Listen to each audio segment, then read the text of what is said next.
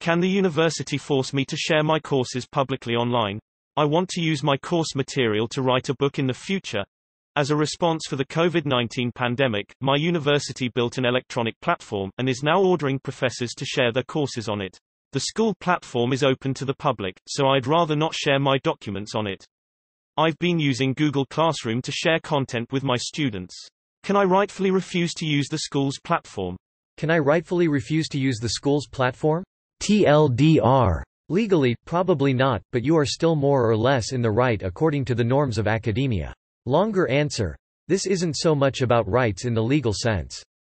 The underlying context is that there is a long-standing tradition in academia that faculty own the rights to written and other media they create as part of their work.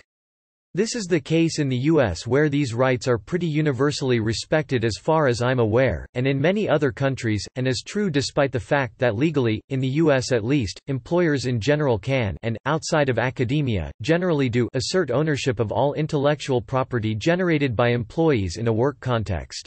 In other words, academic institutions have quite intentionally and explicitly given up some of the legal ownership rights they are in principle entitled to. As far as I understand, the guiding philosophy here is that faculty exercise a lot more freedom and control over what kind of materials they produce compared to employees in other sectors. That means the work is regarded as being of a more personal, creative nature, and it was decided long ago that that should mean that faculty would be the owners of the work. Note, I am talking specifically about copyright, for other forms of IP like patent rights, a quite different philosophy and different policies typically apply. Coming back to your question, I think you are quite right to be concerned. Your university is at the very least showing itself as somewhat deaf to these very old and well-established ideas. But can you rightfully refuse? Legally, that's less clear. But it would be quite reasonable to express a concern. At my university the administration has provided reassurance to faculty that their copyright over teaching materials would be respected during the COVID-19 crisis, and we were given quite specific explanations on how our rights would be balanced against the need to deliver our teaching remotely, including providing recordings, what steps we can take to prevent students from sharing our materials, and more. Perhaps by raising the issue you and your colleagues can push your own administration to also think this through a bit more.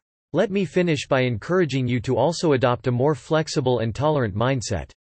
All of us are called upon these days to get out of our comfort zone and appear in online videos and recordings, use online platforms with awful records on privacy, and generally engage in activities that in normal times we might consider distasteful and privacy violating. We do this with the understanding that exceptional times call for exceptional measures, and that the highest priority right now is to keep the lights on at our institutions. As I said, I think your concern is reasonable and probably you can reach some sensible understanding with your administration about your class materials. But while you discuss the issue with them, try to keep some perspective and not make yourself too much of a pain in the butt. As important and valid as this is, people do have worse things to worry about these days.